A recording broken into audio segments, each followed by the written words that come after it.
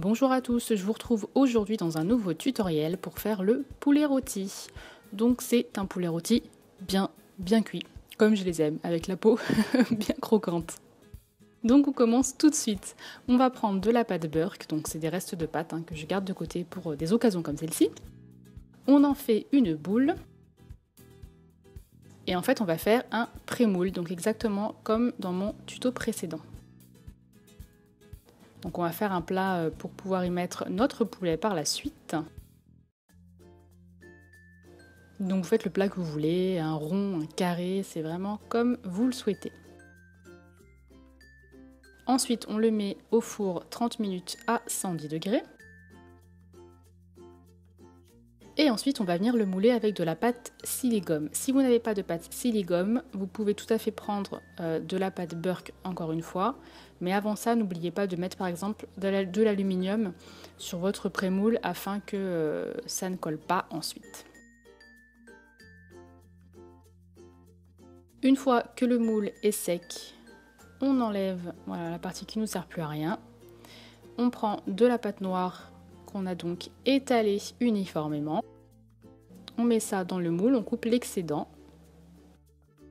Et ensuite, bah, on met en forme petit à petit dans le moule. Donc c'est exactement comme dans mon tuto précédent. Si vous n'avez pas vu, allez-y, j'explique un peu plus en détail. On passe maintenant au poulet. On met notre petit plat euh, de côté. Donc j'ai pris du blanc, du translucide et de l'ocre. Donc quasiment toujours le même mélange un peu pour tout. Hein. Et je vais faire mon poulet. Donc c'est la première, première, toute première fois que j'en fais un. C'était vraiment une phase un peu test. Hein.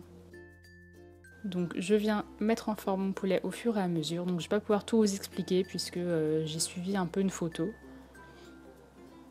Donc en fait j'ai m'aider de mon dotting tool, de mon aiguille, euh, un peu tout ça en général.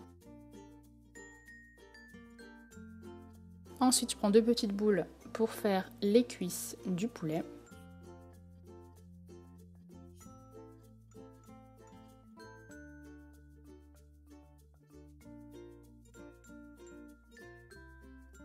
Je coupe le bout et je viens y accrocher une petite boule que je vais donc former ensuite et qui sera l'os de mon pilon de poulet.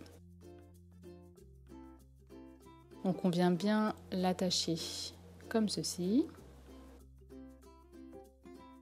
et on le met en forme.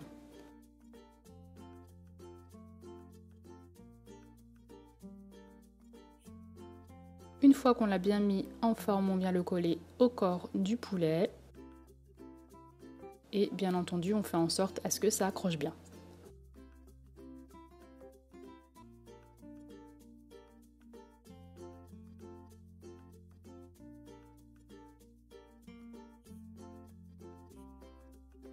On va faire la même chose de l'autre côté. Et ensuite, on va passer aux ailes.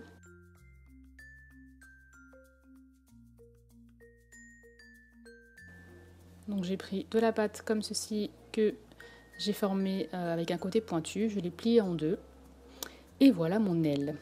Ensuite, je les dispose exactement comme les cuisses. Et je viens ajouter le petit morceau, vous voyez là qui est sur l'aile. Moi j'adore manger ce petit bout là, bien croquant quand il sort du four. Hum, délicieux.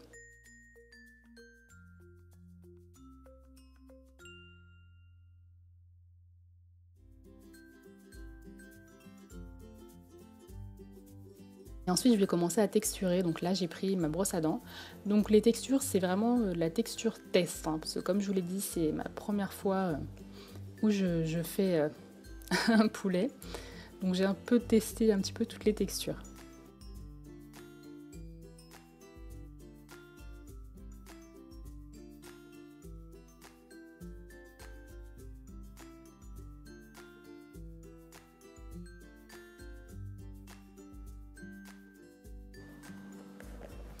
Ensuite, je continue la texture avec une aiguille, donc je viens faire des lignes un petit peu partout, donc ça va faire ensuite les, les plis de la peau euh, du poulet une fois qu'il est cuit. Vous voyez la peau un petit peu fripée euh, que le poulet peut avoir.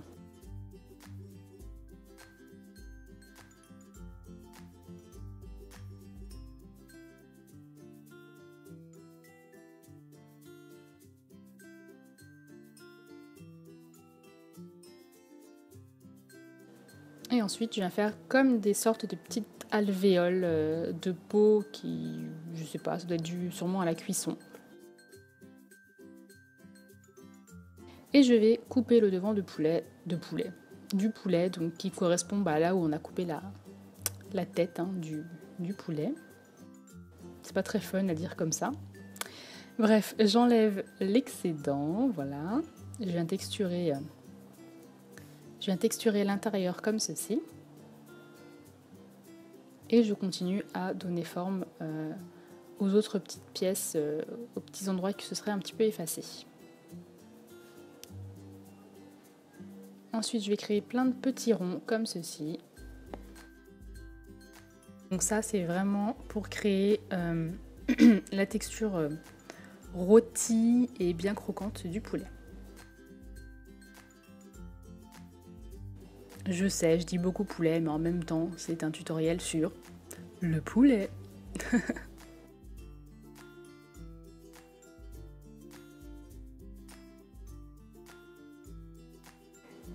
et je repasse un petit coup de brosse à dents.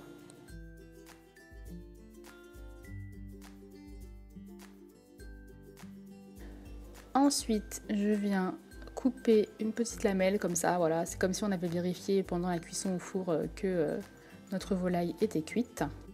Et ensuite, je texture l'intérieur pour faire euh, l'effet du blanc. Et je continue encore et encore et encore toujours à texturer.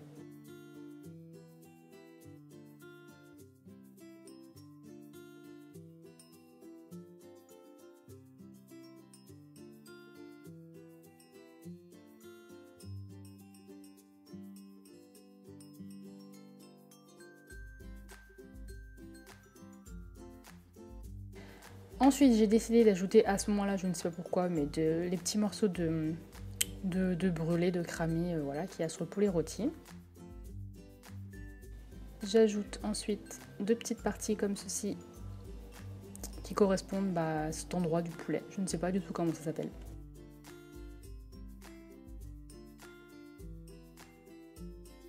Et ensuite, je vais commencer à le euh, colorer. Donc là, je l'ai coloré avec des pastels secs et de l'eau. Donc le poulet est passé au four avant, il a cuit donc 30 minutes à 110 degrés. Ce que j'ai oublié de préciser. Et ensuite, du pastel, je suis passée à la peinture acrylique.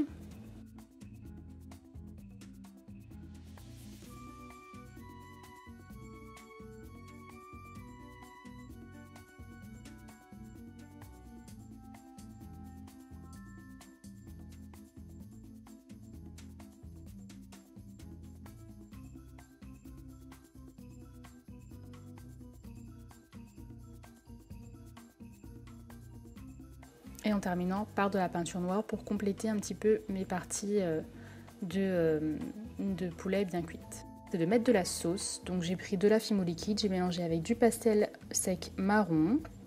Ensuite j'ajoute un petit peu de couleur euh, caca vert que j'ai mélangé avec du vert et du marron. Et je place ça au fond de mon plat, donc pour faire un petit peu des éclaboussures, des éclaboussures du, de la viande. Et ensuite j'y mets mon poulet. J'ajoute un petit peu de sauce sur le dessus, un petit peu d'herbe, et ensuite je mets tout ça au four, encore une fois, 30 minutes à 110 degrés. Et il ne vous restera plus qu'ensuite à vernir. Donc je mets beaucoup de fois ma création au four à 110 euh, degrés. Euh, ce n'est pas un problème du tout, à partir du moment où vous avez cuit une fois votre fimo, vous pouvez la cuire indéfiniment. Le tout est de ne pas la cuire plus longtemps que 30 minutes la première fois. Voilà, j'espère que ce tutoriel vous a plu. Je vous dis à la prochaine. Bisous bisous